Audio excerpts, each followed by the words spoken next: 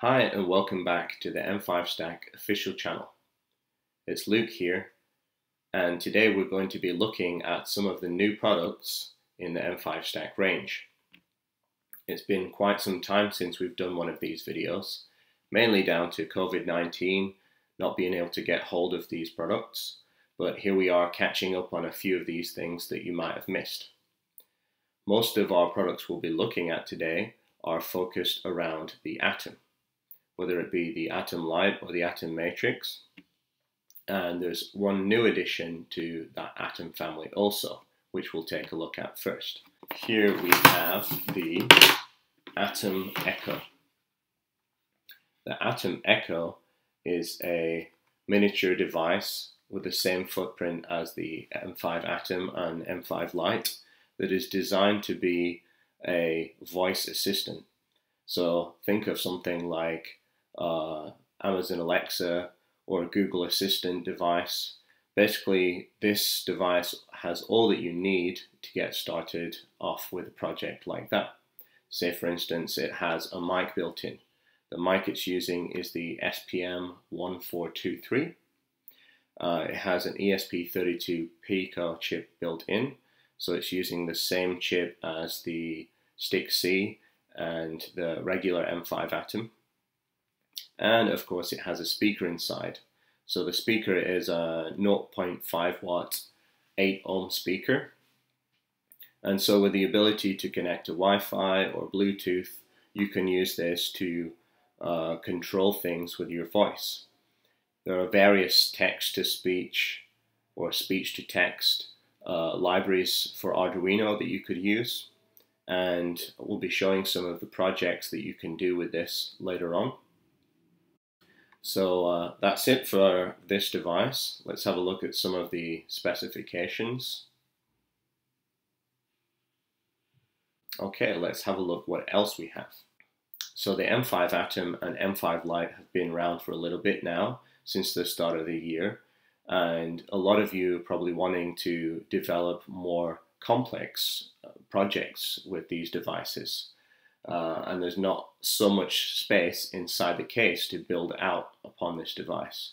So we've developed some prototyping kits.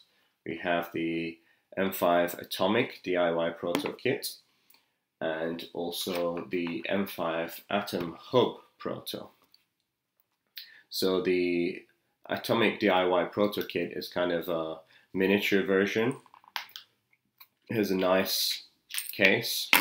Um, where you can put your M5 Atom or M5 Lite here.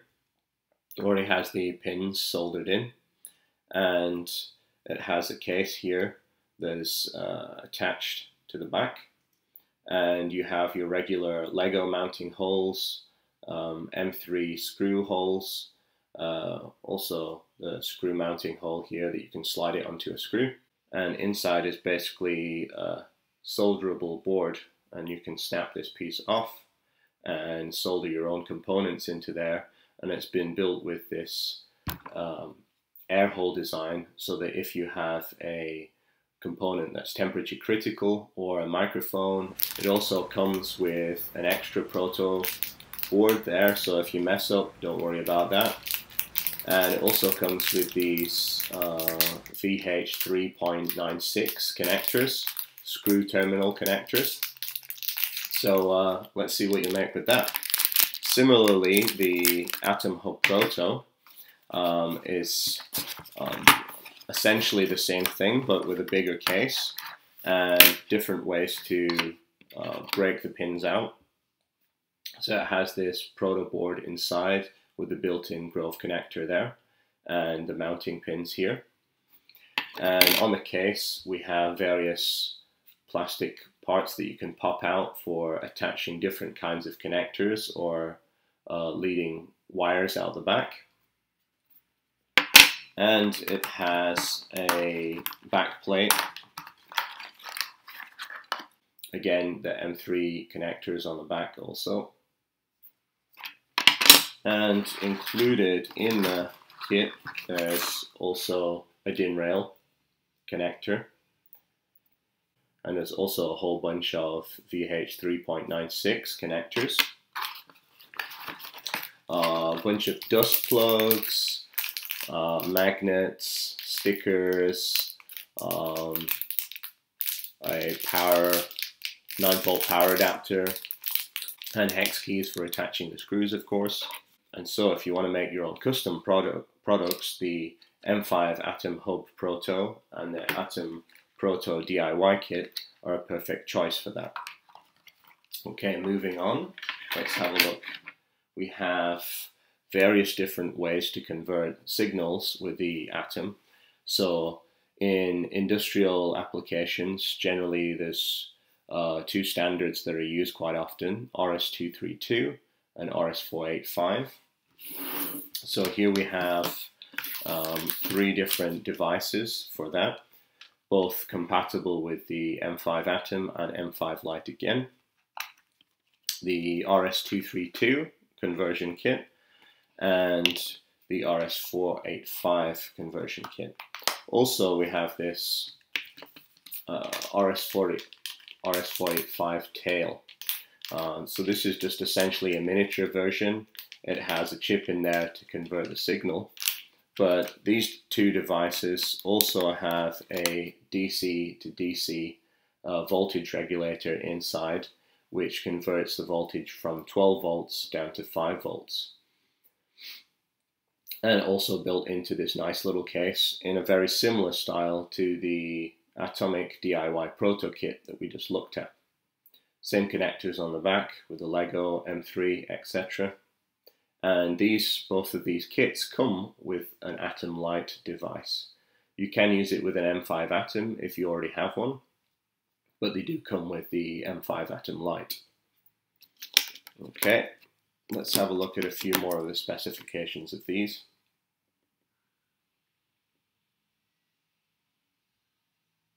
Okay, let's have a look what we have next.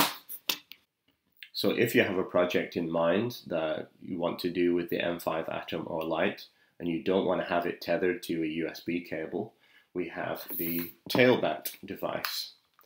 The Tailbat is essentially a power bank for the M5 Atom, which has a 190 milliamp hour battery built in. Still allows you to connect different devices to the Grove port, and you can charge the battery up by the USB-C connector on the back. Also has a single button that's programmable and an RGB LED here to indicate the charge level of the battery. Next up we have some add-ons for the M5 Atom which add different functionalities. Uh, the first is the Atomic GPS and TF. So this could be used as a tracking device, whether you're on your bike or in your car, etc. Um, it's compatible with both the M5 Atom and the Lite. The kit comes with uh, an Atom Lite, but you could switch it out for an M5 Atom if you wanted to display something. It outputs the GPS data in uh, NMEA 0183 protocol standard, so it's compatible with Galileo, GLONASS, all of those other common GPS standards. Let's have a look at a few of the other specifications of this device.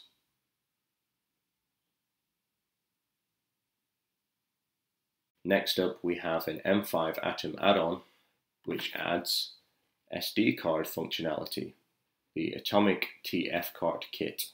So this simply adds in a spring-loaded SD card slot which supports up to 16 gigabyte cards for logging data, storing your libraries, all that kind of thing.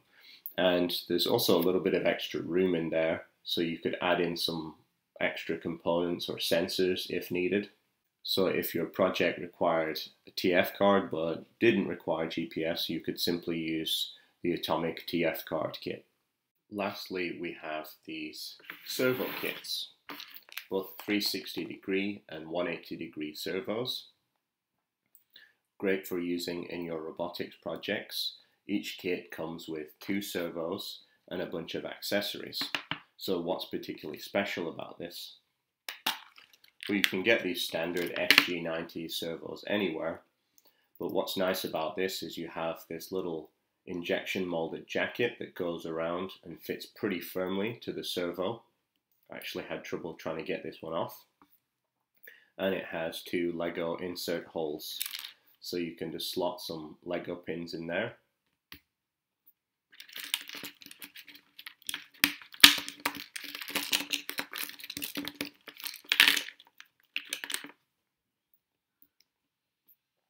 and then attach it to a piece of Lego. Very handy and I'm intending to make some videos in the future showing you how you can make some little robot cars with these Lego servos. So stay tuned for that. Also we have these nice little fixtures that you can find in the kit. It's a little uh, servo hat that slots on there and has the crossbar so you can then attach it to a shaft or directly attach a Lego arm onto it. Also there are these little wheels which have a nice little rubber ring around the edge for grip. There's slot right on there and these also have the Lego mounting holes. Okay,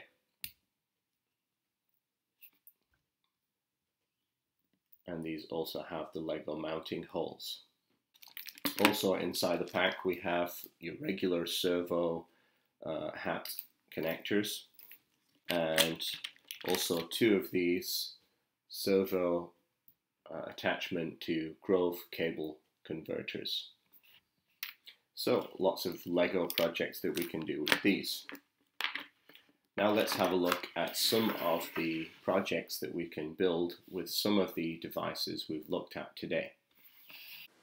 Two of the projects that I particularly like are this one by Lemariva Tech, is showing you how to get started with the M5 Atom Echo to record and play back audio. Also there's this demo of web radio on the M5 Atom Echo, which appears to use Bluetooth. I'll post the links for these down in the description. That's about it for today's video. Hope you have some interesting projects in mind for the products that we've looked at today. If you do, make sure to leave them down in the comments. Don't forget to like, subscribe, and I'll see you in the next video. Goodbye.